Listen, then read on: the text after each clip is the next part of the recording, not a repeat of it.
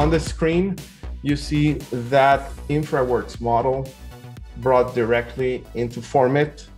Formit is Revit solution for schematic design, which enable us to very quickly create uh, massing studies, massing analysis uh, of what can be possible in the project boundaries.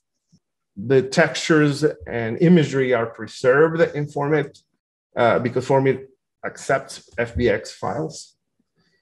And these files in Formit can be, again, saved directly into the cloud and make available to other consultants so that they can be brought into AutoCAD or in Revit.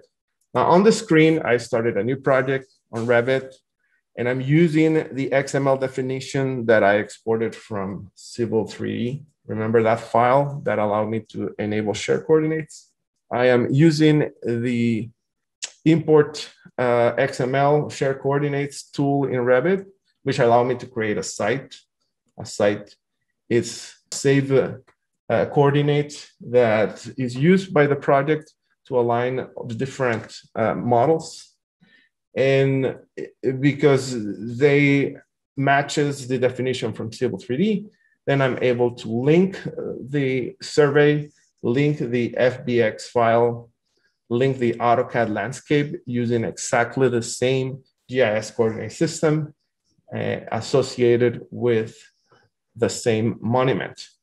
In, on the screen, you see now the exported file from Formit brought into Revit.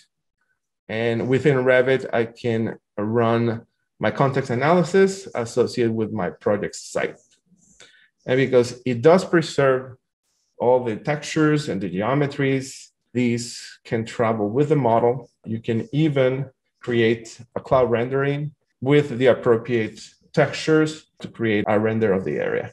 And that's the result of the rendering directly from Revit.